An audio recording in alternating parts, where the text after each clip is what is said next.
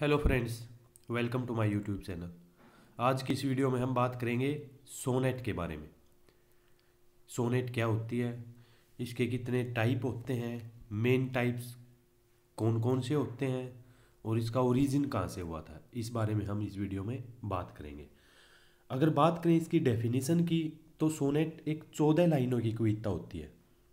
और ये एक्सप्रेस करती है, एक सिंगल या कंप्लीट आइडिया और थॉट को एक्सप्रेस करती है। कोई भी सिंगल आइडिया है पोइट का कंप्लीट थॉट है, उसको ये एक्सप्रेस करती है और एक सडन चेंज आता है इस पोएम में। उस चेंज के साथ ये साइड उस आइडिया को एक्सप्रेस करती है।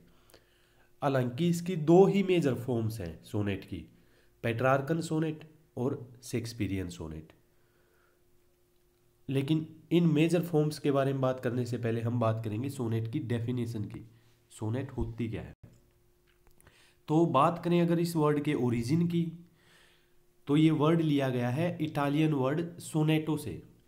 इस वर्ड का ओरिजिन है सोनेटो इटालियन वर्ड सोनेटो और सोनेटो का मतलब होता है लिटल सॉन्ग और स्मॉल लिरिक जो वर्ड सोनेट है, उसको डिराइव किया गया है सोनेटो वर्ड से, जिसका मतलब होता है लिटल सॉन्ग या स्मॉल लिरिक और सोनेट चौदह लाइनों की एक कविता होती है, जो जनरली इम्बिक पेंटामीटर में लिखी जाती है।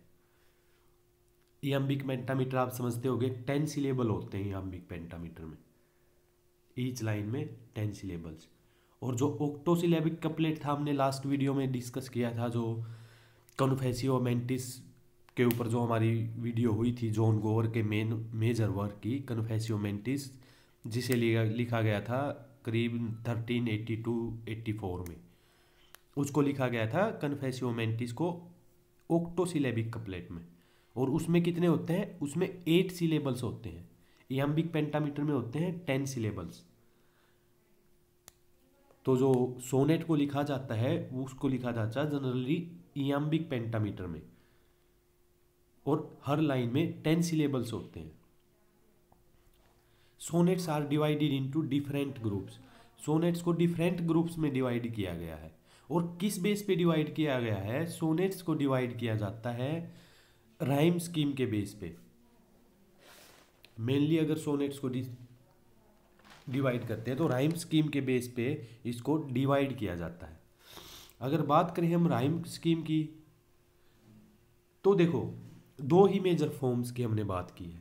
पेट्रार्क सोनेट और इटालियन सोनेट तो इंग्लिश सोनेट जो है, उसकी राइम स्कीम होती है A B A B C D C D E F E F G G हालाँकि हम राइम स्कीम को कैपिटल लेटर में ना लिखते हुए स्मॉल लेटर में लिखते हैं। लेकिन यहाँ ऑप्शन नहीं था, उसके लिए आई एम सॉरी सो मैंने इसको कैपिटल लेटर्स में ही लिख दिया है। राइम स्कीम जो हम डिस्क्राइब करते हैं, वो हम ऐसे डिस्क्राइब करते हैं ए बी ए बी ना कि कैपिटल लेटर में। लेकिन यहाँ कैपिटल लेटर से अलग ऑप्शन नहीं मिला मुझे तो मैंने यहाँ इस तरह से लिख रखा है।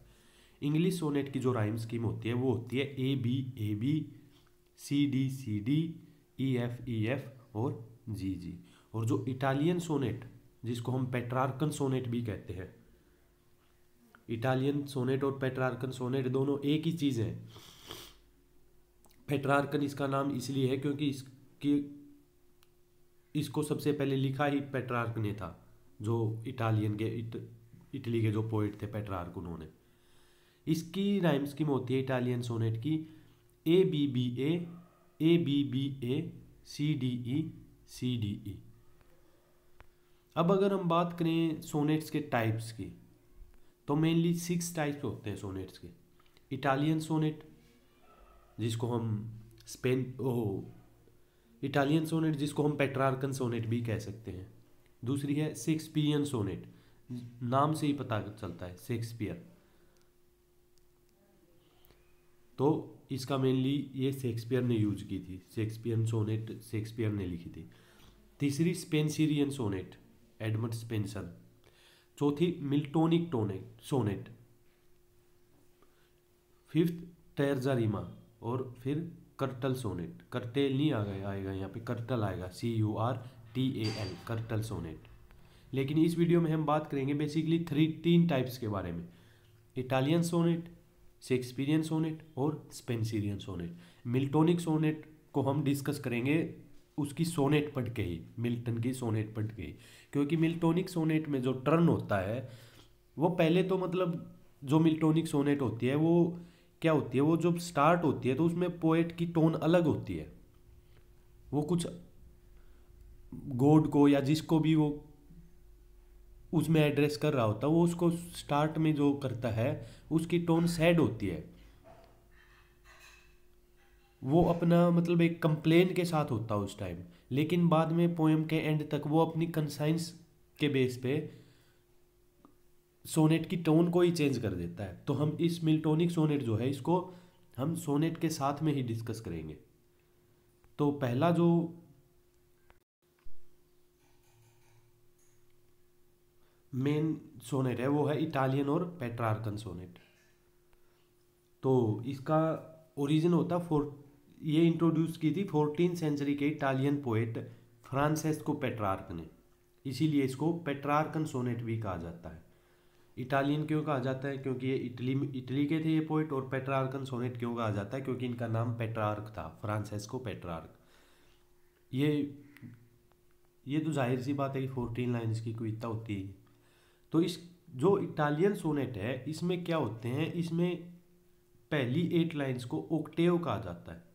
ओक्टेव या octet O C T E T octet octave या ओस्टेट जो पहली एट लाइन्स होती हैं, उनको ओक्टेव कहते हैं या फिर ओस्टेट कहते हैं और उसकी राइम स्कीम होती है, जो फ़र्स्ट एट लाइन्स की राइम स्कीम होती है, वो होती है A B B A A B B A और लास्ट की जो सिक्स लाइन्स होते हैं, उनको कहते हैं sestet S C S T E T sestet उसकी राइम स्कीम होती है C D C D C D इसके बाद हम बात करेंगे शेक्सपीरियन और स्पेनसीरियन सोनेट की। शेक्सपीरियन और स्पेनसीरियन सोनेट स्पेन शेक्सपीरियन सोनेट्स जो है, उनको जनरली इयाम्बिक पेंटामीटर में लिखा जाता है। पहला फैक्ट तो ये है शेक्सपीरियन सोनेट का। और जो दूसरा फैक्ट है, वो ये है, ये इनके एंड में एक कपलेट होता है। टू लाइंस का कपलेट और वो बेसिकली ही इस जो सोनेट होती है पूरी, उसका निचोड़ ही होता है वो दो लाइंस उसमें वो अपनी थीम को जस्टिफाई करता है शेक्सपियर जो भी उसकी बारह लाइनों में उसकी थीम चली है पोएम की, चार चार लाइंस के तीन स्टेंजा होते हैं और लास्ट की दो लाइन को हम कपलेट कहते हैं। और वो अपने कपलेट में बिल्कुल अपनी पूरी पोएम का ही निचोड़ देता है। अपनी पूरी पोएम का, को जस्टिफाई कर रहा होता है उसकी थीम को जस्टिफाई करता है लास्ट के कपलेट में। और जो लाइम स्कीम है शेक्सपियर के सोनेट की वो है, तीन स्टेंजा होंगे, चार चार लाइन के। A B A B C D C D E F E F और कपलेट की राइम स्कीम होगी जी जी उसके बाद हम बात करेंगे स्पेंसिरियन सोनेट की। Edmund Spenser Edmund Spenser you know उसको पोएट्स पोएट के नाम से भी जाना जाता है। तो वो पहला पोएट था जिसने मॉडिफाई किया था पेट्रार्क्स फॉर्म को। स्पेंसर पहला पोएट था, जिसने, उसने सिर्फ़ मॉडिफाई किया था। ओरिजिन इसका वहाँ से नहीं होता। ओरिजिन तो होता है इसका टॉमस व्याट और सूर्य से। लेकिन स्पेंसर तो पहला पोएट था, जिसने जो पेट्रार्क फॉर्म थी इटालियन सोनेट की जो फॉर्म चली आ रही थी, उसको मॉडिफाई किया था। चेंज किए थे उसमें। और उसने एक न्यू राइम स्कीम इंट्रोड्यूस की थी, जो ये थी एडमंड स्पेंसर ने। पेट्रार्क फॉर्म थी, जो इटालियन सोनेट की जो फॉर्म होती थी, उसकी राइम स्कीम को चेंज किया था स्पेंसर ने एडमंड स्पेंसर ने।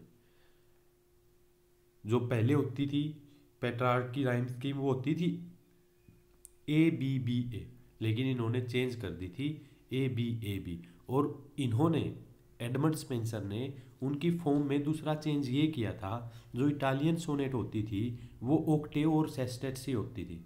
लेकिन इसमें वो फोर फोर लाइन के स्टेंजा लिखता है और फिर लास्ट के टू लाइन। तो वो बची हुई जो सोनेट के स्टाइल हैं टर्जा रीमा कल, कर्टल सोनेट और मिल्टोनिक सोनेट, उसके बारे में हम अगली वीडियो में डिस्कस करेंगे। मिल्टोनिक सोनेट को हम डिस्कस करेंगे। मिल्टोनिक सोनेट के एग्ज़ाम्पल के साथ ही मतलब वो फोर्टीन लाइन्स की पोएम के साथ ही हम मिल्टोनिक सोनेट को डिस्कस करेंगे।